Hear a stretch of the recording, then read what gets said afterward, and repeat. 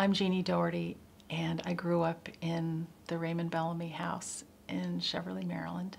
I worked for many years in public affairs and uh, had left my career to devote myself to my parents' care. I was really exhausted by the time both of my parents passed. They passed within five months of each other, and I really just didn't know where to begin. Uh, calling and talking to someone at the company, I felt like I was really assured that this was not going to be an impossible task.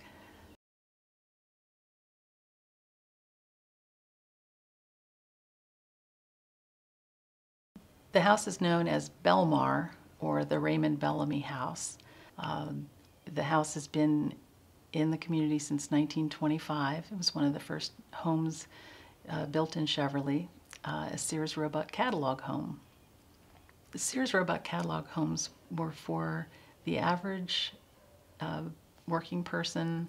Uh, the person could look at a Sears catalog and pick out everything that they needed to put together their home. It was encouraged that homeowners would actually build the homes themselves down to every last nail and every last stud.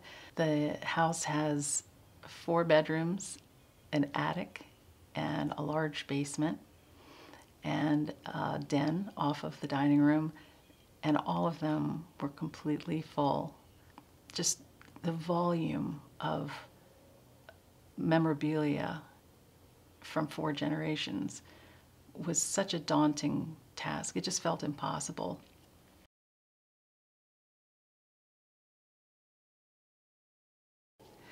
My guide called me and introduced herself uh, before she made the visit. She came and really functioned as kind of a cross between a, a guide and a social worker and a counselor and a best friend.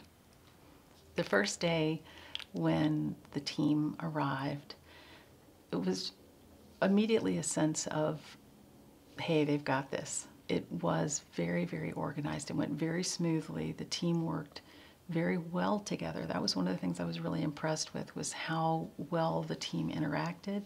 I am so grateful because I thought that this was going to take the rest of my life to get through the volume of possessions and memories in this house. I have a few dreams of my own. We can start looking ahead and start enjoying life a little bit.